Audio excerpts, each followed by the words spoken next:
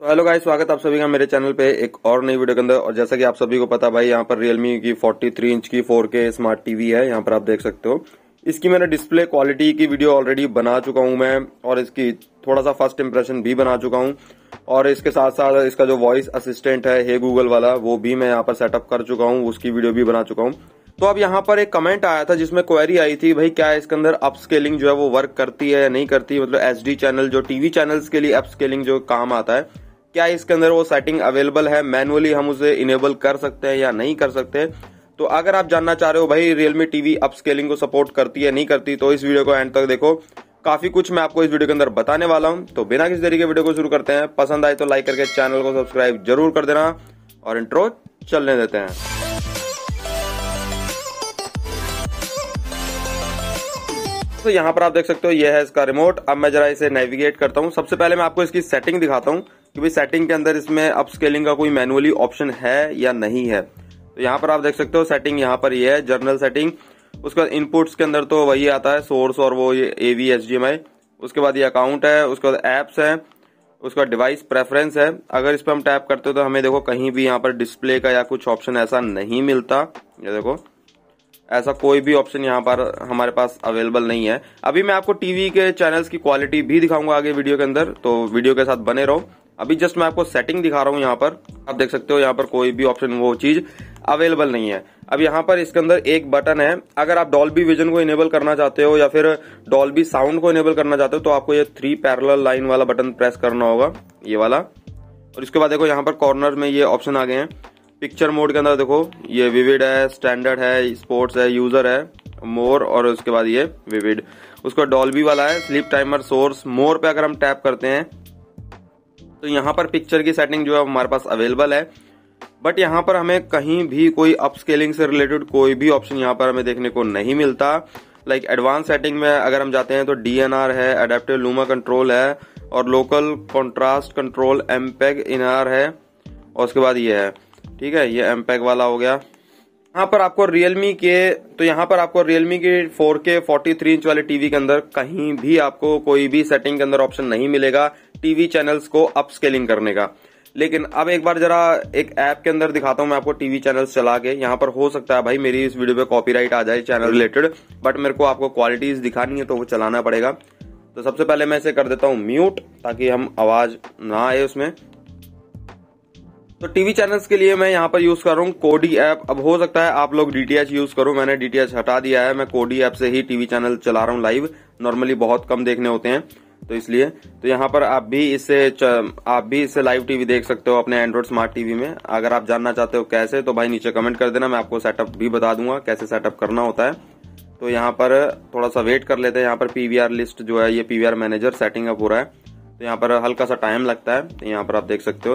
सबसे पहले हम इसी इसी की सेटिंग में देखते हैं, क्या इसकी सेटिंग के अंदर कोई अपस्केलिंग से रिलेटेड ऑप्शन अवेलेबल है? तो यहाँ पर हम आगे इसकी सेटिंग के अंदर, और यहाँ पर सिस्टम के अंदर अगर हम जाएँ तो यहाँ पर आप देख सकते हो, ये सिस्टम का ऑप्शन है डिस्प्ले के अंदर। यहाँ पर डिस्प्ले के अंदर हमें कोई ऐसा ऑप्शन अपस्केलिंग से रिलेटेड तो नहीं दिख रहा है। ये देख सकते हो। अभी तक तो कोई ऐसा अपस्केलिंग से रिलेटेड कोई भी नहीं दिखा है। एडवांस के अंदर अगर हम जाते हैं तो एडवांस के अंदर भी यहाँ पर कोई भी अपस्केलिंग से रिलेटेड नहीं है।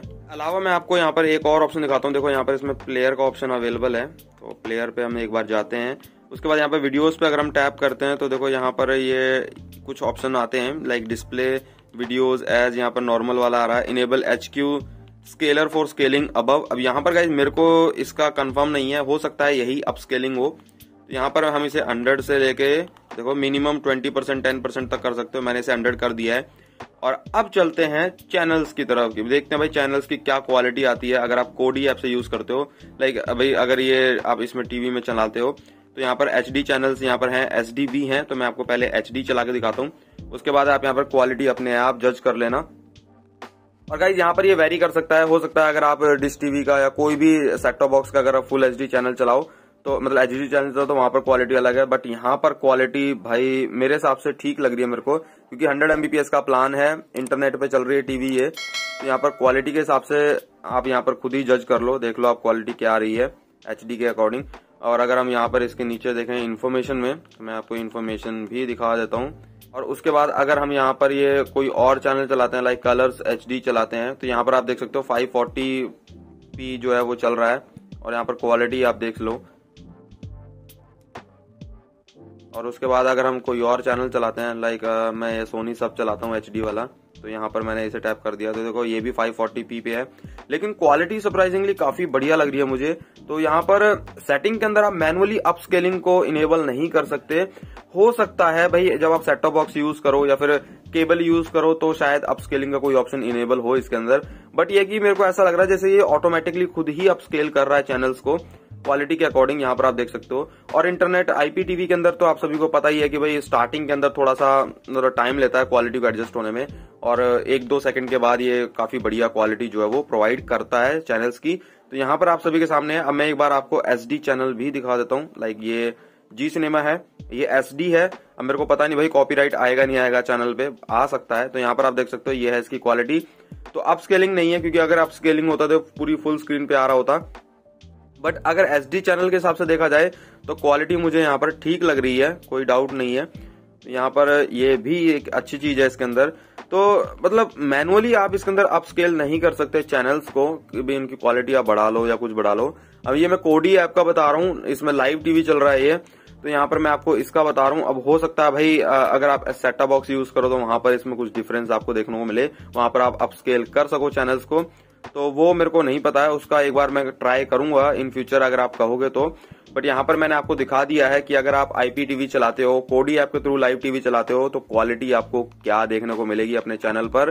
तो यहाँ पर काफ़ी सारे लोगों के मन में जो डाउट होगा, वो यहाँ पर क्लियर हो चुका होगा। तो ये थी वीडियो आई होप आपको वीडियो पसंद आई होगी। अगर अच्छी लग रही तो वीडियो को लाइक करके चैनल को सब्सक्राइब ज़रूर कर देना। और मैं मिलता हूँ नेक्स्ट वीडियो में। Thanks for watching